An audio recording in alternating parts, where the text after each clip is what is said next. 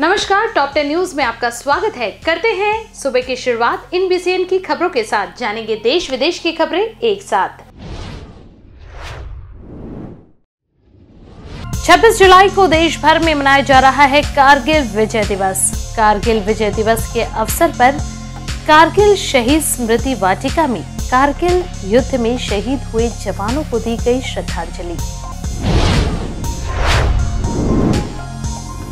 शहर में Commonwealth game 2022 का आयोजन 28 जुलाई से 8 अगस्त के बीच होगा। जाने माने एथलीट लेंगे हिस्सा।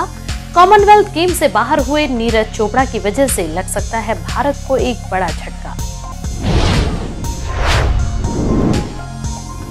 प्रयागराज में आकाशीय बिजली गिरने से पाँच महिला सहित छह की मौत तो वहीं ग्यारह झुलसे।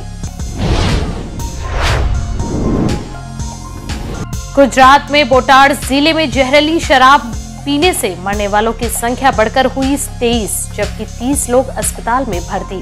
सभी की हालत गंभीर। नेशनल हेराल्ड केस में कांग्रेस अध्यक्षा सोनिया गांधी से आज फिर करेगी ईडी पूछताछ।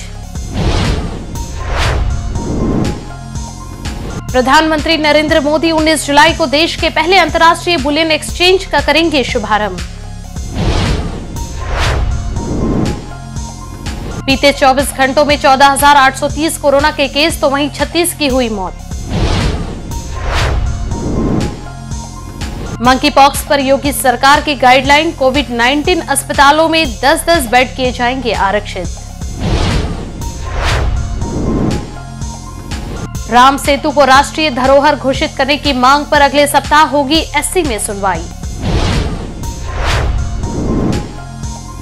महाराष्ट्र में एससी ने 27 प्रतिशत ओबीसी आरक्षण से संबंधित मामले की सुनवाई को टाली 28 जुलाई तक।